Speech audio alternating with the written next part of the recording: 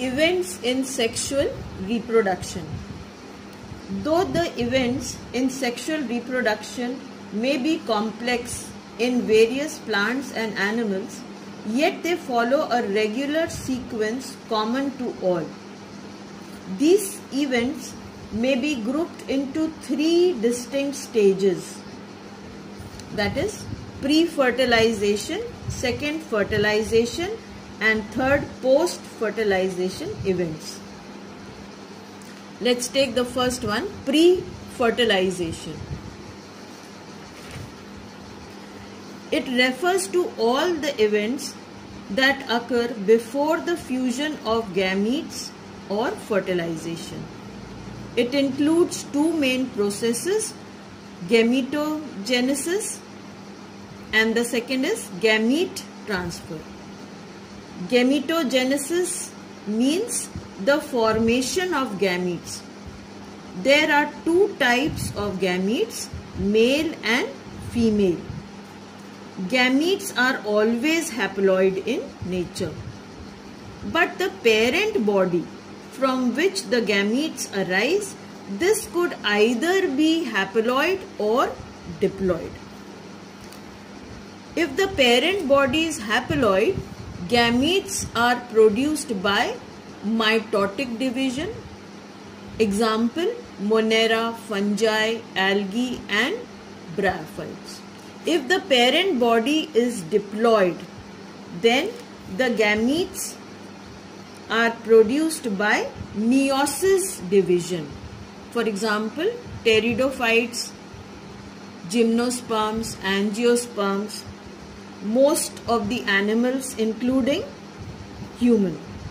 The parent organisms have specialized cells called meiocytes when the parent body is diploid.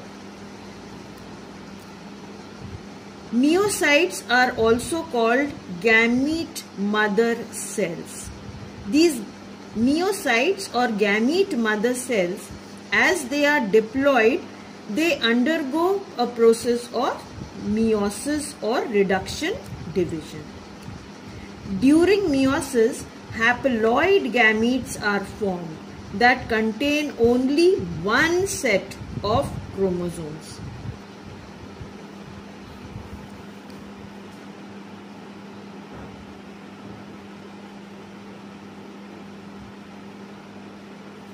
You have to learn the chromosome numbers of these nine organisms.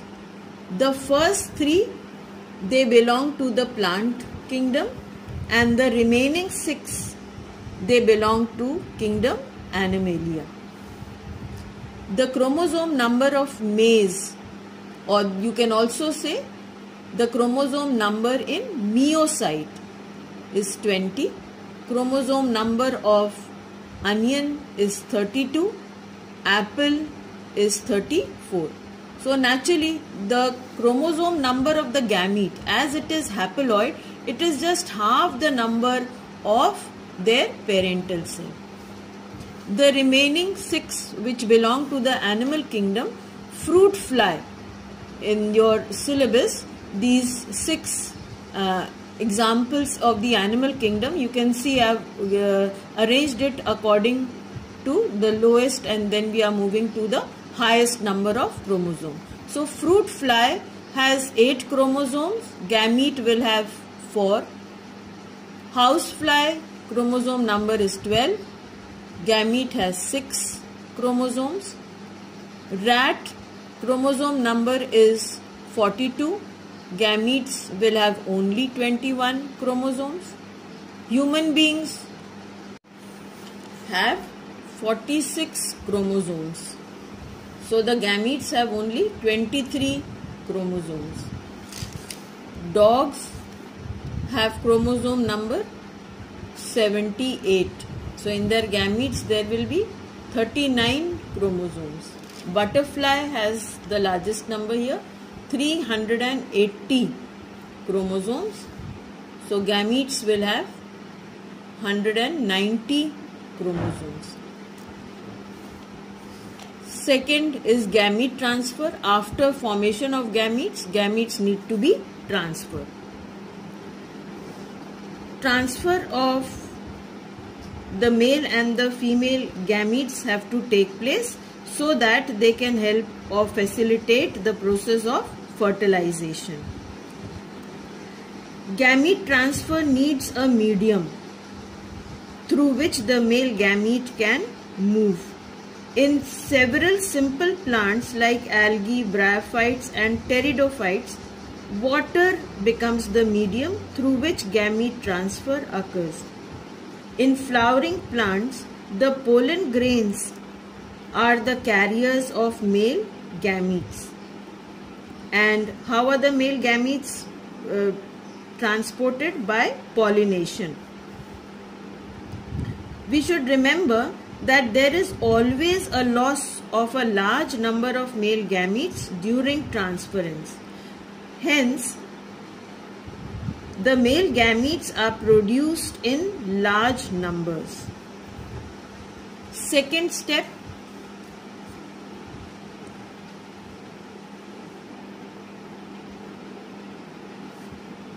or event is fertilization. It is of two types external fertilization like in frog and internal fertilization in all higher animals and plants. External, first let us take up the uh, definition of fertilization. The fusion of male and female gametes leads to the formation of zygote. The process of fusion is called fertilization or we can call it syngamy.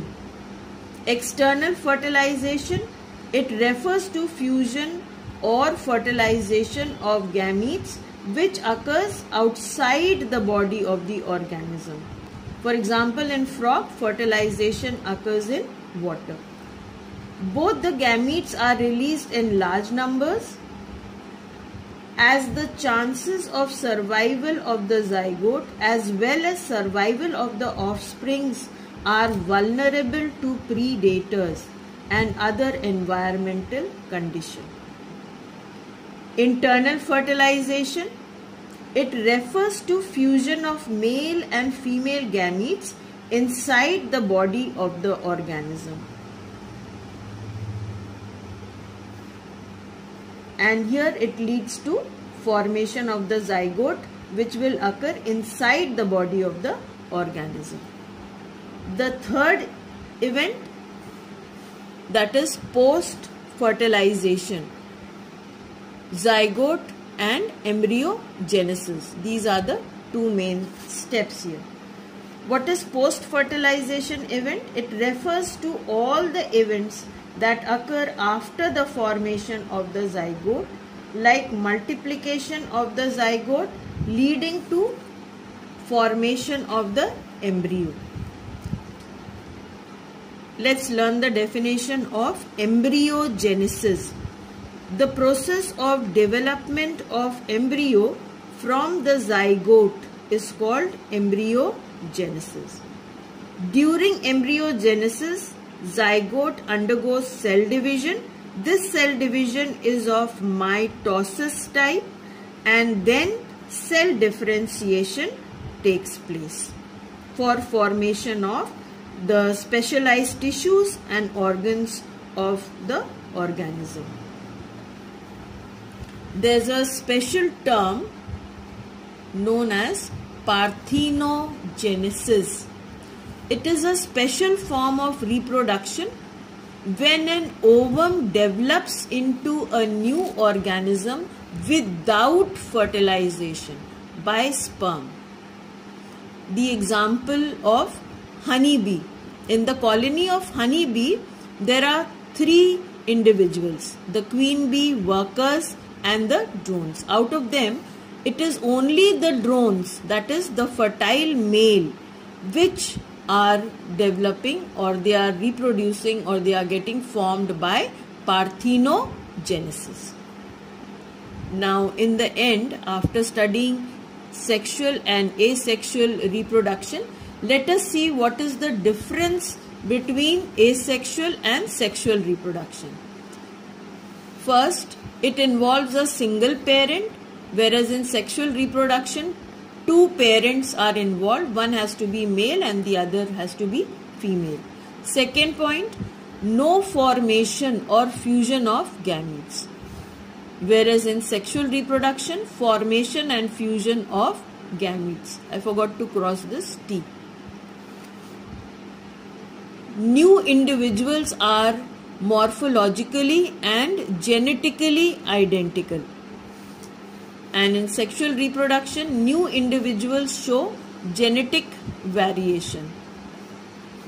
Fourth, involves mitotic division and in sexual reproduction it involves mitosis and meiosis division.